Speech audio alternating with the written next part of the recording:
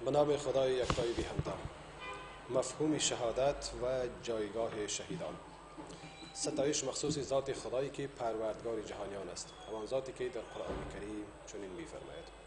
والذین آمنوا بالله و رسوله اولئک هم الصدیقون والشهداء عند ربهم لهم اجرهم و نورهم. و کسانی که به الله و پیامبرانش ایمان آوردند آنها نزد پروردگارشان صدیقین و شهدا هستند. برای آنها است پاداششان و نورشان. گواهی می دهم که نیست معبودی بر هر جز الله یکتای بی همتا و گواهی می دهم که سردار و پیامبر ما حضرت محمد مصطفی صلی الله علیه و سلم بنده و فرستاده خداست. بار خدایا بر او و بر اول و اصحاب او و بر پیروان راستین آنها درود رحمت سلامتی و برکت نازل فرما اما بعد.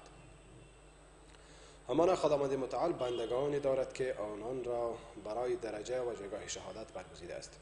طوری که در قرآن کریم می فرماید و تا الله افرادی را که واقعا ایمان آورده اند معلوم بدارد و از میان شما شاهدانی بگیرد و نظر به شرافتش واژه شهادت دارای مفاهیم و معانی زیادی می باشد پس آنها شهدا هستند. چون خداوند متعال و فرشتگان علیهم السلام برای ورود آنها به بهشت شهادت دادند و آنها زنده اند. نزد پروردگارشان روزی داده می شوند و آنان بر نعمت هایی که خداوند برایشان آماده کرده است بر صدق و, صدق وعده خداوند برایشان گواه هستند.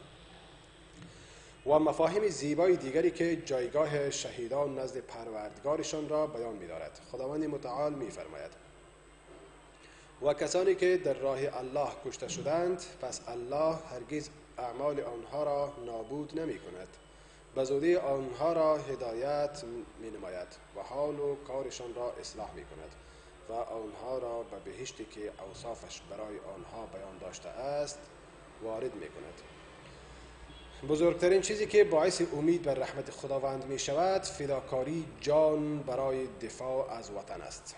فدا کردن جان برای دفاع از وطن است. کسی که از وطن دفاع می کند و در راه آن کشته می شود درجه شهادت را کمایی می کند این امر تجارتی است که در آن هیچ زیانی متصور نیست چون خداوند متعال می فرماید بیگمان الله از مؤمنان جانهایشان و اموالشان را خریده است و بهای اینکه بهشت برای آنها باشد.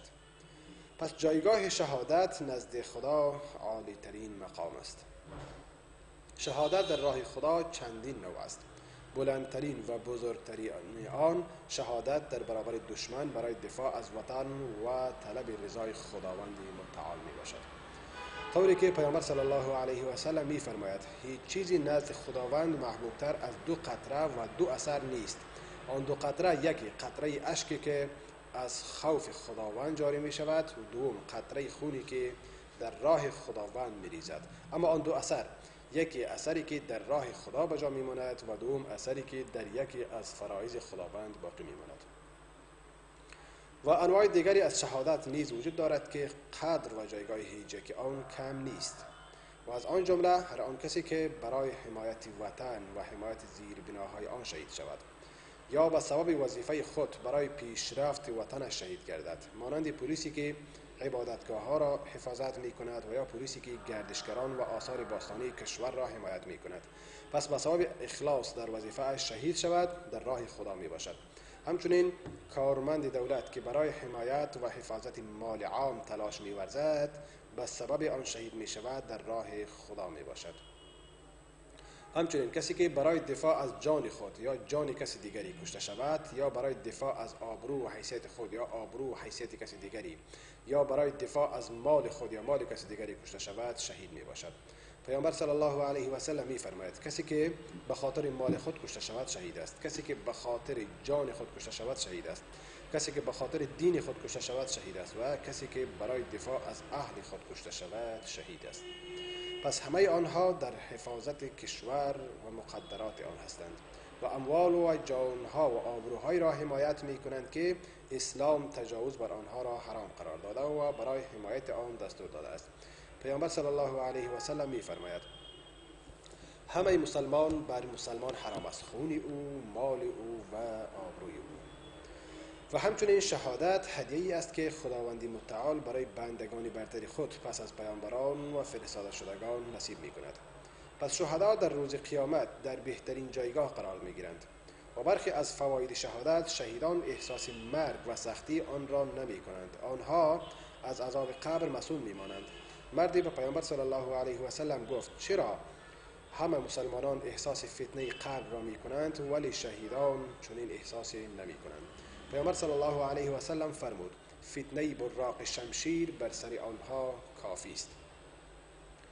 عمل نیک آنها هیچگاه منقطع نمی شود پیامبر صلی الله علیه و سلم می فرماید عمل نیک هر متوفا منقطع می شود مگر کسی که در راه خدا جهاد می کند عمل او تا روز قیامت همیشه رشد و توصیه داده می شود و او از فتنه قبر در امان می باشد و برای آنها اجر بزرگ و بخشش بی پایان می باشد چون به نخستین قطره خون همه گناهان شهید بخشیده می شود و جایگاه او در بهشت برایش نمایش داده می شود و از عذاب قبر و وحشت روز قیامت محفوظ می ماند همچنین شهید در روز قیامت با عزت برانگیخته می شود و از او بوی مشک می براید پیامبر صلی الله علیه و سلم می فرماید سوگند به ذاتی که جانم در دست بلاکیف اوست کسی که در راه خدا کشته می شود و خداوند خود می داند که چه کسی در راه کشته شده است روز قیامت در حال می آید که رنگ خون آن خون و بوی آن بوی مشک می باشد برادران مسلمان همانا شهدای گلگل کفنی ما در خاطرات تاریخ ملت جاویدانند. آنها الگوی فداکاری مردانگی و شرافت هستند. خواست خداوند متعال بر آن شده تا آنان را زندگی واقعی و دائمی نصیب کند که شبیه و مثیلی ندارد. چون خداوند متعال می فرماید و هرگز کسانی را که در راه الله کشته شده اند مرده مپندار. بلکه زنده اند نزد پروردگارشان روزی داده می شوند و آنچه الله از فضل و کرم خود به ایشان داده است شادمانند و به کسانی که هنوز به آنها نپیوسته اند خوشوقتند که نه بیمی بر آنها است و نه اندوهگین می شوند به نعمت و فضل الله شادمانند و اینکه می بینند الله پاداش مؤمنان را ضایع نمی کند و پیامبر صلی الله علیه و سلم می فرماید ارواح شهدا در شکم پرندگان سبز دارای قنادیل آویزان بر عرش خداوند می باشد این پرندگان در هر جای از بهشت که بخواهند می روند و سپس به سوی همان قنادیل بر می گردند سپس پروردگارشان بر آنها ظاهر می شود و آنان به آنها می گویند آیا چیز دیگر اشتها دارید؟ می‌گویند پروردگارا بیشتر از این چی بخواهیم؟